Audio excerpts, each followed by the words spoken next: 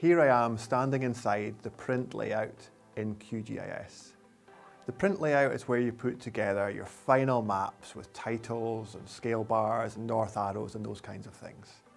You can set the page to whatever you want, any size, any dimensions. You've got all the tools you need to change everything. I've got my toolbar for that positioned on the left of the screen vertically here, but you can put it anywhere you like. And once you add something to the print layout, anything you add is referred to as an item.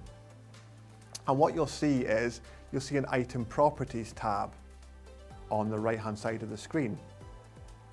If for any reason you don't see that tab, you can go to the view menu and then panels and turn it back on. Key thing about this is if you want to select something and change its properties, you just do it on the right hand side in item properties. To select an individual item, you just need to make sure that you're using the little cursor pointer. That's going to select an item and then you can change its properties.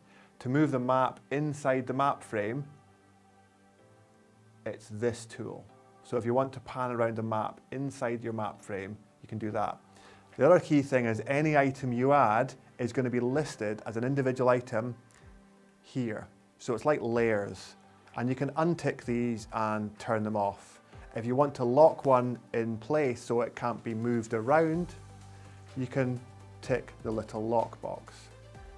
So you can turn these off or on and then when you're ready to export them, you can just go to any of the three buttons. So the first button here that I'm pointing to, that's going to export to PDF.